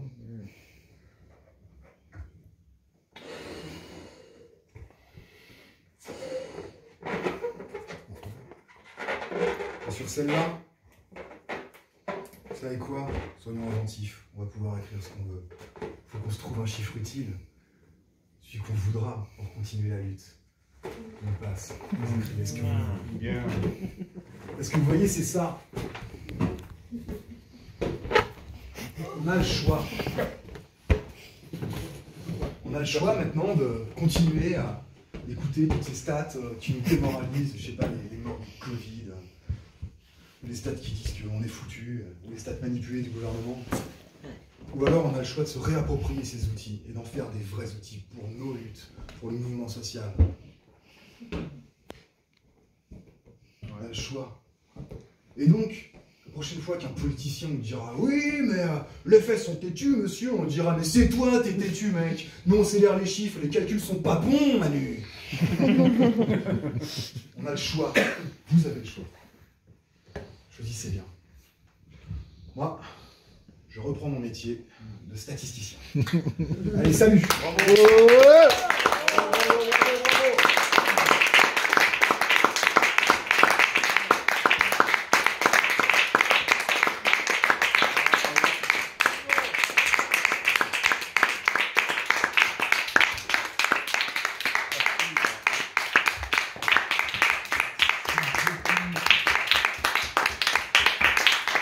de bâtard. Félicitations, vraiment, vraiment. Un grand merci. Alors déjà, on va remercier infiniment euh, Léo et Sylvie pour nous accueillir ce soir. C'est cool Une lampe morte. Tu vois, ça c'est le, ça, c'est le discours politique du système qui Attention, s'écroule. regarde. Bouge pas, bouge pas. Vraiment. Donc merci Non, non, infiniment d'avoir organisé ça. Un C'est merci. Grégoire. Ah, Grégoire. Un merci infini à Grégoire, à Hélène, à Marion qui se sont décarcassés pour oui. euh, donner cette date. Ah, Euh, en moins d'une semaine. euh, Merci à ceux qui fait de la route, merci, euh, merci à vous. tous. bah, merci. Et puis, euh, C'est entièrement filmé, hein.